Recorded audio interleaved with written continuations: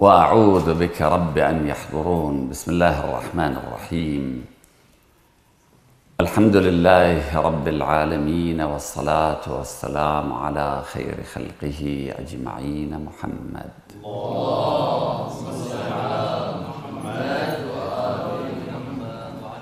وعلى أهل بيته الطيبين الطاهرين المعصومين المكرمين وبعد. قال الله العظيم في كتابه الكريم وإذا جاءهم أمر من الأمن أو الخوف أذاعوا به.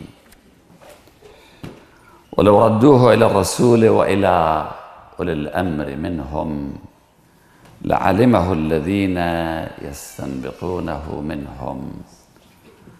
آمنا بالله. صدق الله العلي العظيم.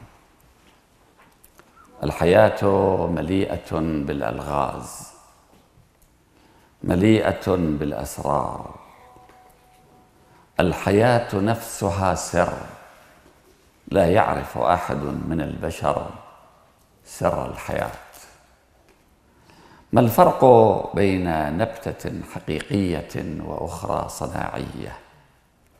الفرق وجود الحياة في النبتة الحقيقية. فما هي الحياة؟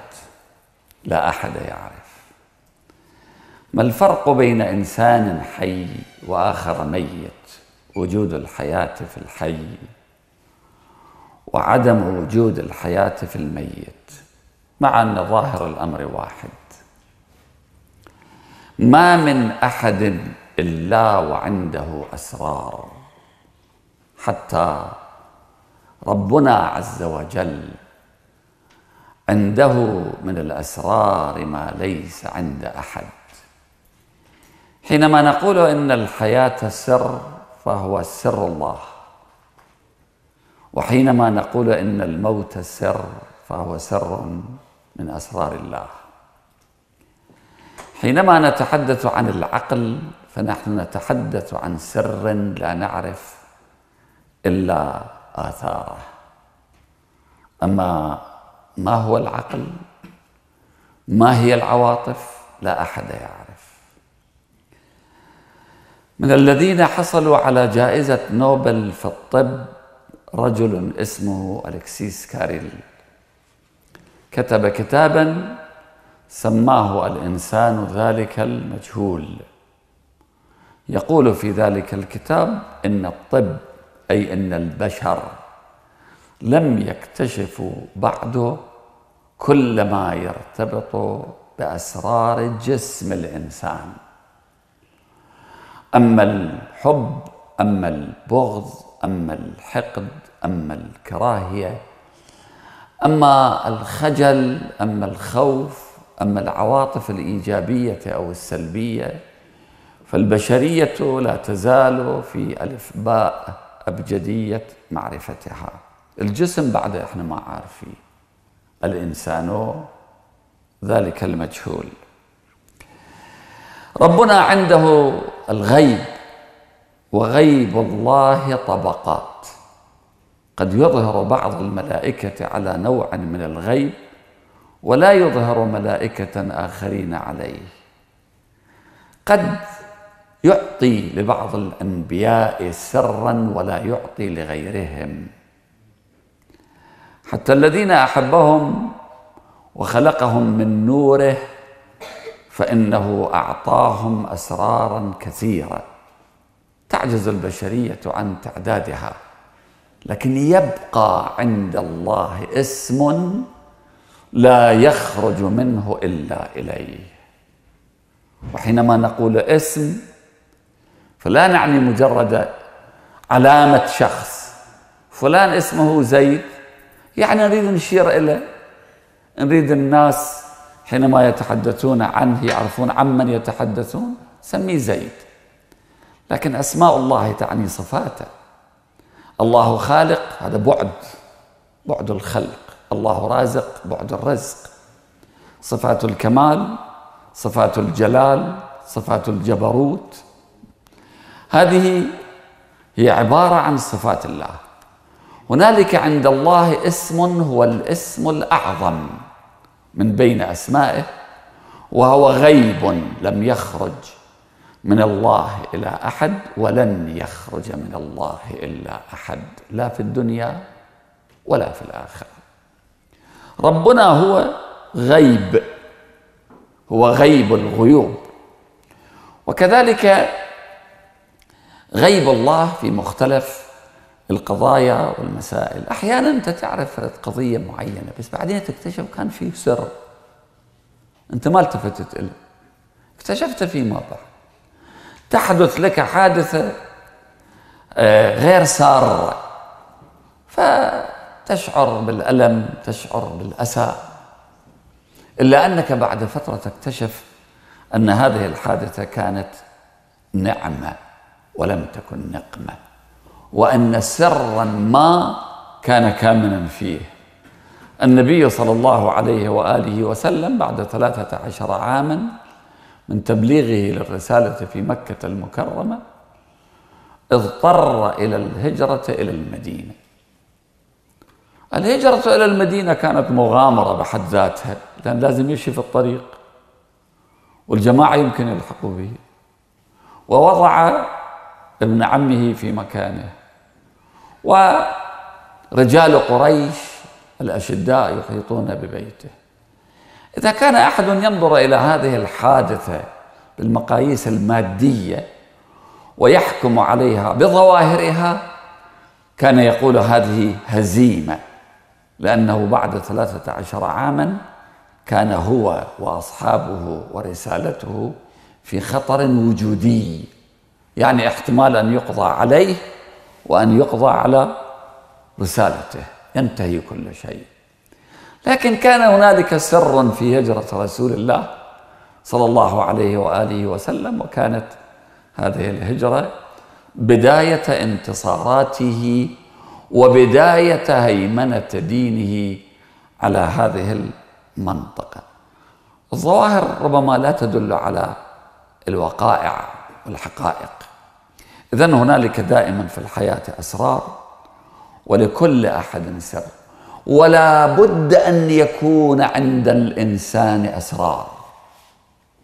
لا بد أن يكون عنده أسرار. هل يجوز لك أن تكشف عوراتك للناس؟ هل يجوز لأحد أن يكشف ما يجري بينه وبين زوجته مثلا؟ هل يجوز لأحد أن يكشف عن أخطائه التي ارتكبها بينه وبين ربه أن يقول للناس عن الذنوب التي ارتكبها. هذه يجب أن تبقى أسرار هذا فيما يرتبط بالجانب الشخصي من الفرد. قد يقول قائل أليست الشفافية أفضل؟ أن كل شيء يكون مكشوف. الجواب على ذلك أولا كلما ازداد الإنسان عقلا ازداد وعيا. وكلما ازداد وعيا ازداد علما. وكلما ازداد علما ازداد عمقا. وكلما ازداد عمقا لم يكن كل شيء ظاهرا منه. هذا البحر الذي تنظر إليه مجرد مياه لكن في عمق البحر كلما كان أعمق كانت أسرار البحر أكثر. ومن هنا كان عند الأنبياء غيب. بعض هذا الغيب كشفوه للناس. الحديث عن عالم البرزخ الحديث عن يوم القيامة عن الجنة عن النار عن الحساب عن الكتاب. وأيضا الحديث عن العواقب هذا الذي بينه الأنبياء للبشر كان غيبا أظهروه للناس. وإلا البشر من وين يعرفون الميت يوم اللي يموت شي يصير به في قبره؟ ومن هنا إلى يوم القيامة ما الذي يجري عليه؟ ويوم القيامة ما هي صفاته؟ من يعرف؟ من يعرف ما جرى قبل أن يخلقنا الله في هذه الأرض منذ بداية الخليقه من يعرف أو كان يمكن أن يعرف لولا أن الله كشف ذلك عبر أنبيائه للناس عن خلق آدم عما جرى لآدم وعما حدث له بين إبليس وبينه وما جرى في الجنة ما حد كان يعرف. ما سبق غيب ما سيلحق غيب وظاهرنا الذي نتعامل معه أيضا فيها أسرار وفيها غيوب. هذا الغيب يبقى سرا نعم في مجال القيم والمثل والمبادئ لا معنى للسر. هي شفافية مطلقة. العدل الحرية الإيمان متطلبات آه، آه، العبادة. هاي الأشياء مثل القوانين. ما في قانون في بلد من البلدان سر أساسا الأمر يصبح قانون حينما يكشف عنه حينما يكشف في الجريدة الرسمية عن قرار من القرارات هذا يصبح قانون. يكشفون عنه. ماكو دولة تتعامل مع الناس بقوانين مجهولة حينما تكون الدولة بلا قانون بلا دستور فمعنى ذلك هذه الدولة متخلفة وديكتاتورية وطاغية. ما في شك. قوانين يجب أن تكون مكشوفة للناس وهي مكشوفة في العادة. كل دولة عندها قوانين ظاهرة وعندها أسرار. هم عندها قوانين ظاهرة وهم عندها أسرار. أسرار عسكرية. لمواجهة العدو وعدم انكشافها له. أسرار اقتصادية لمواجهة المنافسين. أسرار صناعية لمنع الرقباء من التنافس. ما في أحد ما في شركة من الشركات تكشف عن أسرارها خوفا من الاستنساخ وخوفا من الرقباء. إذا الدولة اللي عندها أسرار عسكرية واقتصادية وصناعية وما شابه ذلك قوانينها مكشوفة وظاهرة ونحن أيضا نقول بذلك. القرآن الكريم عبارة عن أوامر الله ونواهي الله وهو أمر مكشوف وبلسان عربي مبين يستطيع كل أحد أن يقرأه وأن يفهمه على مستواه. وإن كان القرآن أيضا بطون ولكل آية ولكل قضية طرحت في القرآن سبعين بطنا. بس على كل حال ظاهر الآيات هي مكشوفة للجميع. إضافة إلى بعض الأمور التي ترتبط بالشخص مثل قضايا الزوجية. قلنا إنه لا يحق لأحد أن يكشف ما يجري بينه وبين زوجته من أمور حميمية خاصة. لكن أيضا أحيانا الرجل يكشف سرا لزوجته أو الزوجة تكشف سرا لزوجها. هل يجوز لأحدهما أن يكشف هذا السر للآخرين؟ ربنا أنزل سورة كاملة في كتابه الكريم حول هذه القضية وهي سورة التحريم. وإذ من آيات هذه السورة وإذ أسر النبي إلى بعض أزواجه حديثا فلما نبأت به النبي تحدث مو مهم عندنا ما أريد أن أنقل قصة آه هذه المسألة هذه الآيات المباركات لكن النبي أسر إلى إحدى زوجاته بسر. هذه المرأة كان عليها أن تستر على هذا السر وأن لا تكشفه. لكنها نبأت زميلتها فلما نبأت به وأظهره الله عليه الله كشف عن خيانة هذه وكشفها لسر النبي. عرف بعضه وأعرض عن بعض. فلما نبأها به النبي خبرها أنك كشفت هذا السر لزميلتك. قالت من أنبأك هذا؟ يعني بعد ما كانت مؤمنة أن هذا النبي مرتبط بالغيب والله. كل شيء يقوله. قالت من أنبأك هذا؟ قال نبأني العليم الخبير. إن تتوبا إلى الله فقد صغت قلوبكما. صغت إلى ماذا؟ إلى معصية الله. إلى مخالفة أمر الله. إلى ما يوجب غضب الله. إن تتوبا بس هاي النقطة السوداء تبقى في تاريخكم. والله ينزل سورة تتلى آناء الليل وأطراف النهار حول هذه الخيانة الزوجية. لأنه لا يجوز لأحد أن يكشف عن سر أحد. إن تتوبا إلى الله فقد صغت قلوبكما وإن تظاهرا عليه. غريب تهديد. وبعدين هذا التهديد الله يبين قوة النبي في مقابل هذا الأمر. وإن تظاهر عليه فإن الله هو مولاه وجبريل وصالح المؤمنين والملائكة بعد ذلك ظهير. عسى. تهديد أيضا آخر. عسى ربه إن, طل إن طلقكن أن يبدله أزواجا خيرا منكم. تهديد بشنو؟ بالطلاق. عالم الغيب فلا يظهر على غيبه أحدا إلا من ارتضى من رسول. ويوم اللي ارتضى هذا الرسول وكشف الغيب والسر له هذا النبي ما يكشف للناس. يعني السر يبقى سر عند النبي. إن الله عالم غيب السماوات والأرض. إنه عليم بذات الصدور أنت مكشوف لربك تعلم ما في نفسك ولا أعلم ما في نفسك. الله ما عنده نفس بهالمعنى اللي عندنا. لكن هذا النبي يقول أنت تدري كل شيء أنا ما أدري عنك شيء. أنت غيب بس أنا بالنسبة لك مو غيب. الله يعلم ما بذات الصدور. عالم الغيب وإذا جاءهم أمر من الأمن أو الخوف إذا جاءهم خبر عن السلام أمن. عن الحرب أذاعوا به شنو يجوز لهم؟ أن يذيعوا هذا الأمر. آيات مباركات حول قضية حفظ السر باعتبار أن ذلك يترتب عليه ما فيه الخطر. ما يجوز واحد يكشف آه، إذا جاءهم أمر من الأمن أو الخوف أذاعوا به. ولو أنهم ولو ردوه إلى الرسول وإلى أولي الأمر منهم لعلمه الذين يستنبطونه منهم.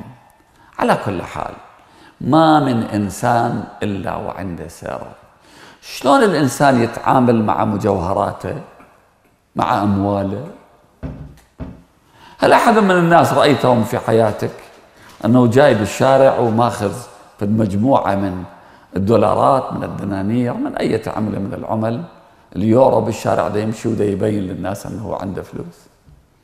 كل الرجال يخفون ما عندهم من أموال كما أن النساء يخفون ما عندهم من أعمار. المرأة ما تقول كم عمرها والرجال ما يقول كم عنده فلوس. بالعكس تشوف كثير من أصحاب الأموال يتظاهرون بالفقر حتى لا يكشف الناس ما عندهم من أموال. وين يحتفظون بهذه الأموال؟ سابقا لم تكن هنالك مصارف وبنوك كانت هنالك صناديق وكانت الصناديق أمنع الأماكن من تطفل المتطفلين من احتمال أن السراق يصلون إليها. أقفال إليها وطبعا إلى اليوم حتى في البنوك اللي تودع فيها الأموال صناديق كبيرة. مو أنه ما في صناديق. إلى الآن الصناديق هي التي تحفظ أموال الناس. وعادة هذه الصناديق من الحديد وهي تقاوم النار. بناية ضخمة تسقط على صناديق حديدية لا يصيبها شيء. لأن صناديق ليش؟ لأن المجوهرات غالية. لأن المال غالي. من شنو خايفين؟ من سرقة السراق زين السر أخطر وأغلى أم المجوهرات. إذا كشف عن سر المال عن سر الصندوق فإن الشخص يخسر ماله. لكن إذا كشف عن سره ربما يخسر حياته كثيرا ما يكون السر يرتبط بوجود الإنسان. سلام الله عليه الإمام الصادق. روي عن أحد أصحاب الإمام الصادق قال دخلت إلى على أبي عبد الله أيام صلب المعلى بن خنيس. معلى بن خنيس. كان رجل من أصحاب الإمام الصادق الخلص وكان الإمام يعتمد عليه في أمور منها ما يرتبط بتجارته لأن الإمام الصادق لم يكن يريد أن يكون كلا على الناس. فكان عند بعض التجارة يقوم به المعلى ابن خنيس. فقال لي هذا صاحب الإمام يدخل على الإمام يوم اللي صلبوا آه، المعلى بن خنيس. قال يا أبا حفص إني أمرت المعلى ابن خنيس بأمر فخالفني. قلت له إياك أن تكشفه فإن فيه رأسك. هذا الأمر لا تكشفه لكن خالفني. فابتلي بالحديد. بعدين الإمام بين شنو كان هذا الشيء؟ هذا السر شنو كان؟ قال إني نظرت إليه يوما وهو كئيب حزين. شفت هذا صاحبي قاعد كئيب حزين. فقلت له ما لك يا معلى كأنك ذكرت أهلك ومالك وعيالك. الرجل كان من العراق والإمام في المدينة. يقول آه ذكرت مالك وعيالك وزوجتك. قلت قال نعم. قلت أدن مني فدنا مني فمسحت وجهه. الإمام. فقلت أين تراك؟ وين أنت الآن؟ قال أراني في بيتي. هذه زوجتي وهذا ولدي. فتركته. يعني ابتعدت عنه. حتى تملأ منهم واستترت منهم حتى نال من أهله ما ينال الرجل من أهله. ثم قلت له أدن مني. ظهرت إلى مرة ثانية. فدنا مني فمسحت وجهه. فقلت أين تراك ها أنت الآن وين؟ قال أراني معك في المدينة. هذا بيتك. فقلت له يا معلى إن لنا حديثا من حفظ علينا حفظ الله عليه دينه ودنياه. إحنا عندنا أمور لازم الناس يحفظوها. لسبب من الأسباب يكشف النبي أي نبي من الأنبياء أو يكشف وصي النبي سرا لأحد. هذا السر لازم يبقى سر تكشفه ما بقى سر. إن لنا حديثا من حفظ علينا حفظ الله عليه دينه ودنياه. يا معلى لا تكونوا أسرى في أيدي الناس. خليك بعيد خليك ما يعرفوك. لا تكون أسير لأنه إذا كشفت عن سرك صار هو يقدر يأخذك بهذا السر. لا تكونوا أسرى في أيدي الناس بحديثنا. إن شاءوا أمنوا عليكم وإن شاءوا قتلوكم. يا معلى إن من كتم الصعب من حديثنا جعله الله نورا بين عينيه. هذا الحديث الله يحوله إلى الرؤية بالنسبة إليه إلى بصيرة بالنسبة إليه. نور يصير بين عينيه. فيرى الحقائق. ورزقه الله العزة في الناس ومن أذاع الصعب من حديثنا لم يمت حتى يعضه السلاح أو يموت مكبلا. شنو كل واحد يعجبه يكشف سر من أسرار الأنبياء؟ والله يريد يفتخر بسر من الأنبياء. في بعض الأمور قالها النبي وقالها الأئمة سلام الله عليهم وأصروا على أن هذه يجب أن تبقى أسرار؟ الآن يريد يظهر نفسه ويبين أنه رجل مهم ويفتخر على الناس ويجي يكشف هذا الحديث. شنو هذا يجوز شرعا؟ المخالفة جائزة؟ مخالفة الله جائزة؟ مخالفة النبي جائزة؟ هذه من أكبر المعاصي. على كل حال كما الإنسان يحفظ أمواله ومجوهراته في صناديق حديدية لا بد أن يحفظ سره في صندوق. هذا الصندوق شنو؟ صدره صدر. العاقل. سلام الله عليك يا أبا الحسن. يا أمير المؤمنين امثلته دقيقة عميقة جميلة مفهومة لكل الناس. صدر العاقل صندوق سره. والبشاشة حبالة المودة والإحتمال قبر العيوب. ثلاث قضايا مهمة يضرب الإمام علي مثالا لكل واحدة منها. بالنسبة إلى السر يضرب مثال الصندوق. سرك من دمك فلا يجري في غير أوداجك. يعني إذا أنت قطعت ودج قطعت شيء من جسمك من عروقك. وهذا الدم طلع من جسمك وراح بجسم واحد ثاني. بعد هذا ما بقى دمك. سرك من دمك. فلا يجري في غير أوداجك. بعض الناس يظن أنه إذا كشف سره لغيره فغيره سيحتفظ به. إذا كان صدرك ضيقا لا يستطيع الاحتفاظ بسرك فصدر غيرك أضيق. يقولون إذا فرس السر بسرعة ينكشف. شائعة من الشائعات تنكشف بين الناس خبر واحد وقول له ترى هذا السر عظيم لتكشف لأحد. يكشف للثاني يقول هذا السر عظيم لتكشف أحد والثاني للثالث ويشيع بين الناس. لأن الناس يحبون أنه يبينون عندي فرشي أنت ما عندك. أنت ما عندك. أنا عندي أنت ما عندك. هدهد حينما غاب عن التغطية على سليمان بن داود وسليمان هدده بأنه يعذبه يعذب الهدهد يعني شلون ينتف ريشه مثلا يقطع رأسه مثلا. يوم اللي اجى قال له عندي فرس سر أنت ما عندك. أنا عندي شيء أنت ما عندك هذا الشيء.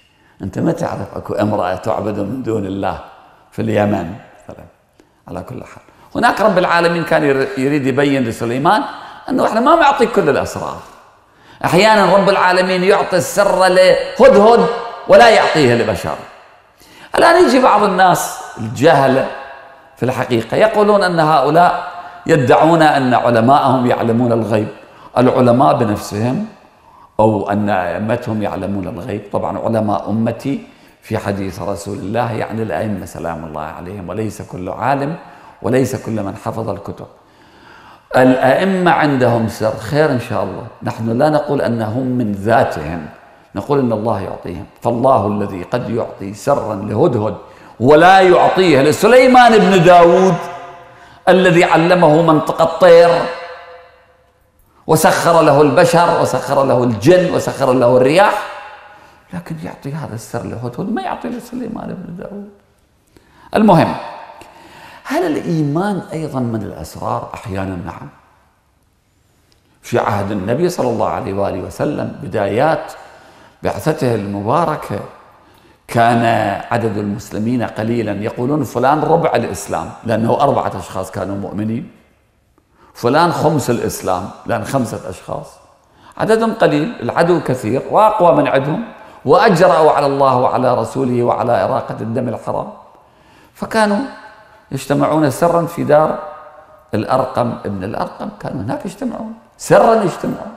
ثم فيما بعد جاء الأمر بإذاعة الإيمان.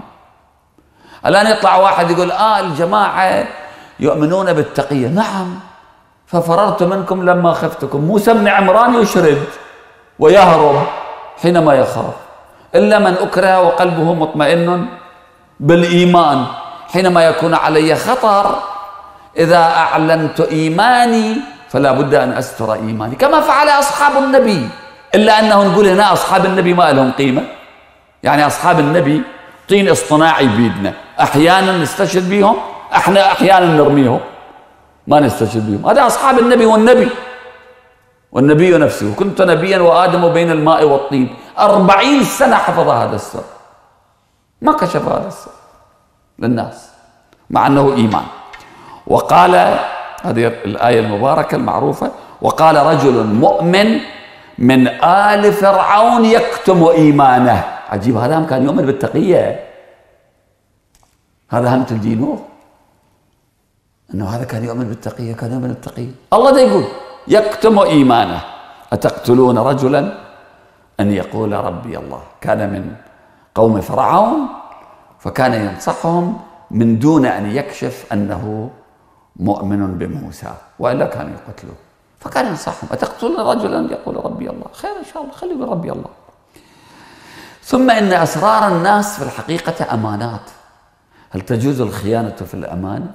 شخص أعطاك مبلغ من المال تصرف. ترمي بالشارع. تهدي هدية لشخص آخر. كما لا يجوز لك أن تهدي أمانة مالية لأحد إلى شخص آخر. لا يجوز لك أن تكشف سره لأحد من الناس. ليش؟ لأن هذا في خيانة للأمانة وأيضا فيه نقض للعهد. يقول ربنا إن الله يأمركم أن تؤدوا الأمانات إلى أهلها. صاحبها. تريد تكشفه؟ خبره. تسمح لي هذا الكلام أبين لفلان أو ما أبينه؟ أما بدون إجازته ما يجوز وهي خيانة للأمانة. ولعل أن عذاب ذلك أشد من عذاب الخيانة في المال. وأوفوا بالعهد إن العهد كان مسؤولا. كم من حوادث في التاريخ وقعت؟ وهذه الحوادث كانت مؤسفة وكارثة على أصحابها لانكشاف السر. كم من حوادث كادت أن لا تقع لانكشاف السر لأحد لولا أن أمور تغيرت. تدرون ثورة 23 يوليو كما يسمونها الانقلاب العسكري الذي قام به الضباط الأحرار في مصر على الحكم الملكي. كاد هذا الانقلاب أن يفشل وأن أصحابه يدعون في السجون أو يعدمون بتهمة الخيانة العظمى. لأن أحد الضباط الأحرار دخل في بيتي حتى يلبس ملابسه ويطلع بس كان مستعجل. والدته سألت من عنده خير إن شاء الله. قال مستعجل خير. وسط الليل وين رايح أنت؟ شنو مستعجل؟ شنو صاير؟ عادة الأمهات يتوجسون خيفة من حوادث مؤسفة صايرة. فد واحد ميت شلبت بي شو الموضوع؟ قال ماما إحنا الليلة ستقع حادثة جدا مهمة. أكو تغيير النظام وأنا واحد من هؤلاء الذين يشاركون في ذلك. طلع برا إجا اخوه اخوه كان يشتغل في المخابرات. فأمه قالت له تدري أخوك؟ يا أخو فلان يا ابني. تعرف أنه الليلة أكو حادثة عظيمة راح تقع. تغيير النظام. هذا هم طلع برا يخبر السلطات.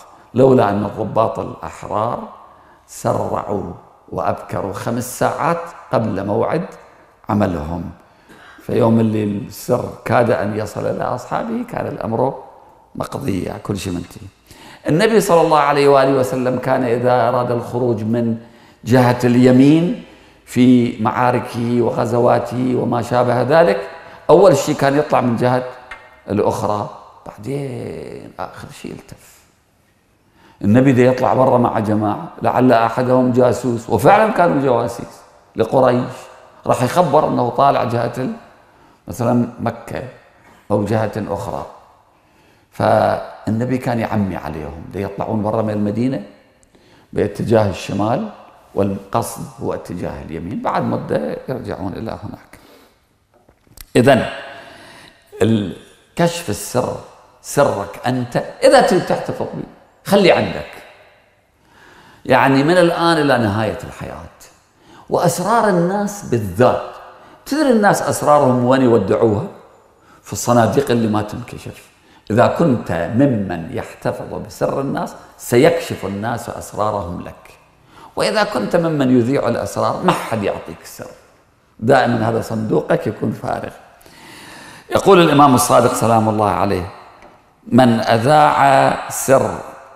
قال لاحد أذاع سرا لأحدهم. قال إياك أن تفشيه فإن فيه رأسك ففشاه فأفشاه فقتل. غير معلى ابن خنيف إذا كشف السر من المحرمات.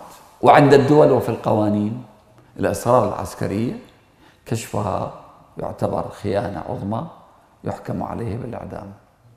فلان جاسوس. أصلا التجسس ليش حرام؟ لأن تكشف أسرار الناس بدون إجازة من عندهم. لذلك التجسس حرام. ولا تجسس. نتجسس على شنو؟ الشيء المكشوف هو مكشوف. لكن الشيء المستور ما يجوز لك أن تحاول أن تعرفه وأن تكتشفه. حتى لو كان هذا السر مجرد رسالة.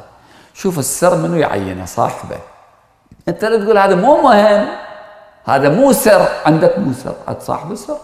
ما يريد الناس يعرفوا لأي سبب من الأسباب. طبعا آه، القاعدة الرئيسية هنا أن لكل ظرف ما يتطلبه. يعني الظروف الموضوعية حاكمة.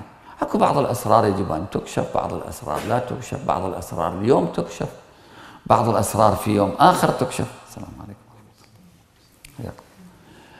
الدول الآن تعرفون بعد مرور 25 عام بعض الدول تكشف عن أسرارها. لكن بعد انقضاء مدة طويلة من الزمن وكشف آه، هذه الأسرار ما تكون مضرة لتلك الدولة. الدول الآن حقيقة 25 سنة 30 سنة يحتفظون ببعض الأسرار. يحتفظون بها إلى هالفترة الطويلة 30 سنة. ثم بعد ذلك يسمحون بعضهم عندهم قوانين أنه بعد مرور 30 سنة آه، يجوز كشف هذه الأسرار. طبعا أسرار عسكرية ترتبط بحياة الناس بوجود البلد وبالنسبة إلى جميع الأمم هذه قضية واضحة ومعروفة. لكن القضايا الفردية الأسرار الفردية أيضا لا يجوز الكشف عنها. إذا صدر العاقل صندوقه سره. ما يطلع من هذا الصندوق؟ يبقى عنده ما يكشفه. والبشاشة حبالة المودة. التبسم بشاشة يعني اللطف. بشة يعني لطفة. استقبل الناس بالبشاشة. يعني بشنو؟ بلطف.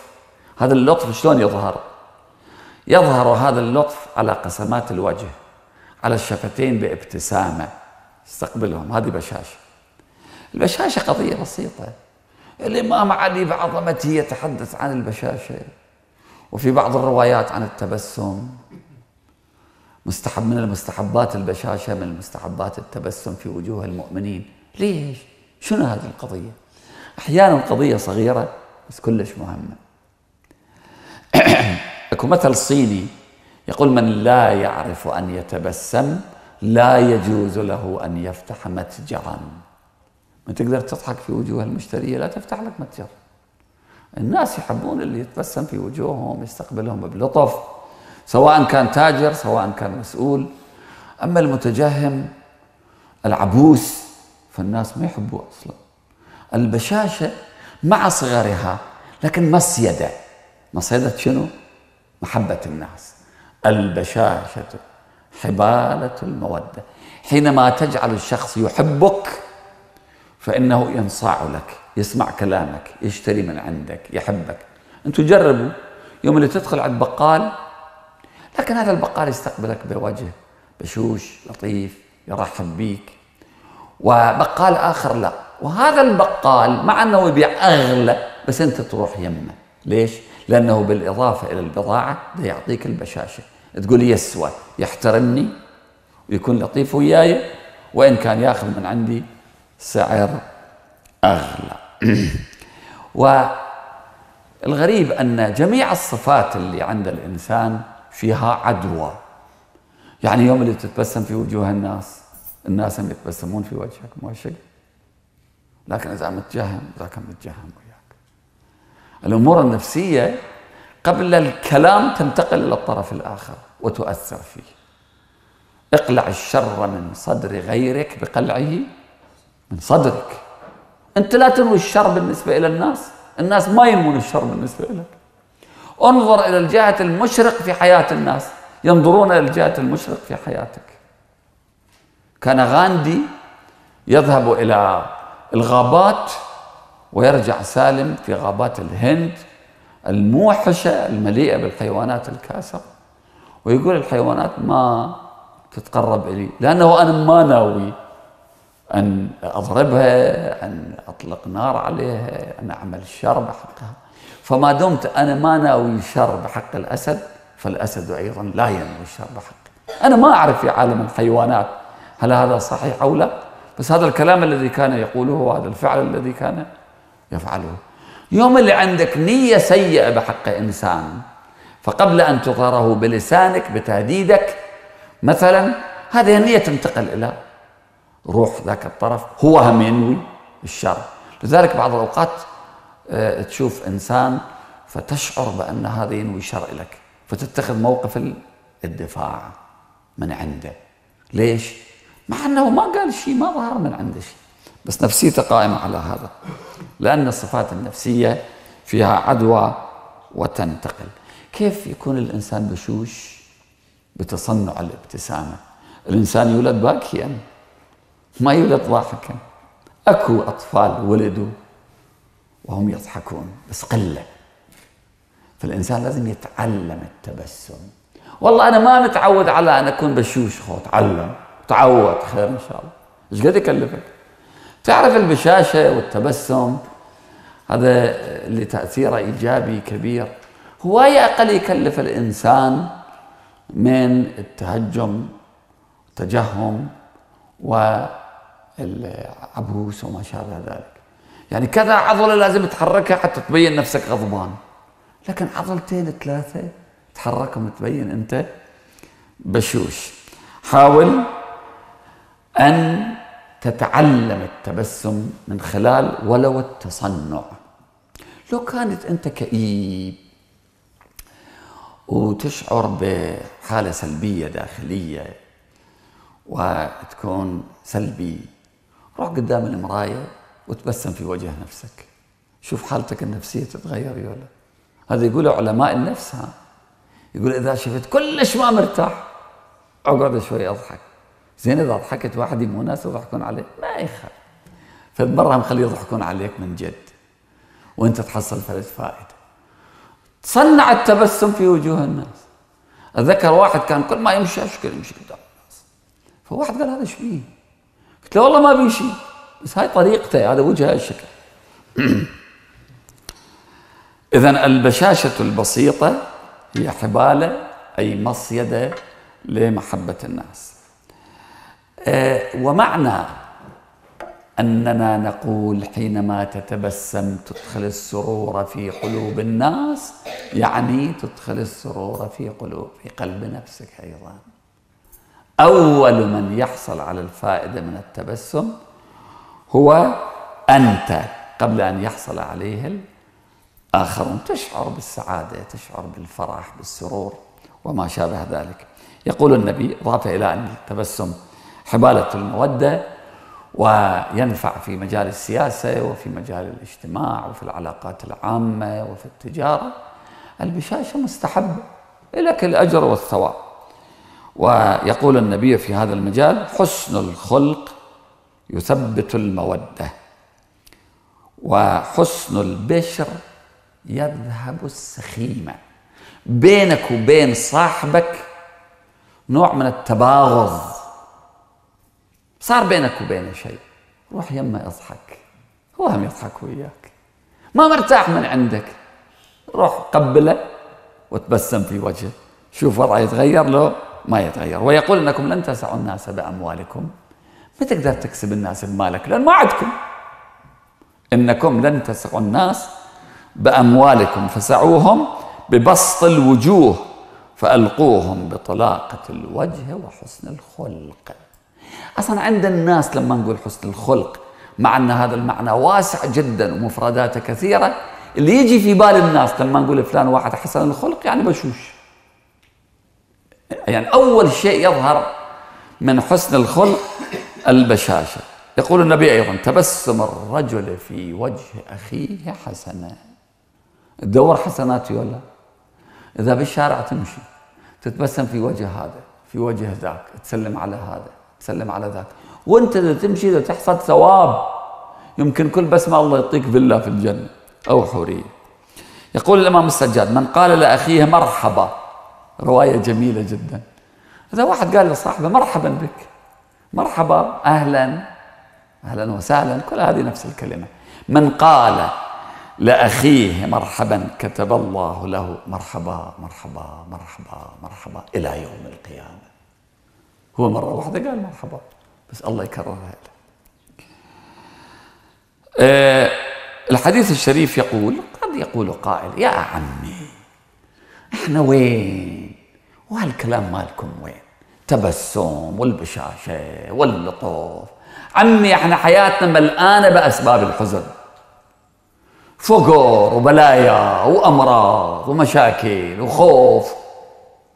شنو أتبسم في وجوه الناس يقول الحديث المؤمن من علامات المؤمن شنو؟ حزنه في قلبه وبشره في وجهه.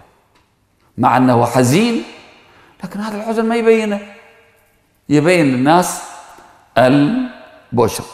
يقول الإمام علي سلام الله عليه في صفات الرجل التقي يقول هشاش بشاش لا بعباس عبوس عباسة. يعني تجهم في وجه الآخر. هشاش بشاش لا بعباس ولا بجساس. ما يتجسس على الناس. صلب كظام بسام. دائم البسمة. بسم مرة واحدة. تبسم مرة واحدة. لكن بسام يعني كثير البسمة. كان النبي صلى الله عليه وآله وسلم دائم التبسم. وربما كان يضحك بس مو الضحك صوت عالي لا. لكن كانت دائمة التبسم في حياته كلها. إذا صدر العاقل صندوق سره والبشاشة حبالة المودة وآخر دعوانا أن الحمد لله رب العالمين وصلى اللهم على محمد وأهل بيته الطيبين الطاهرين.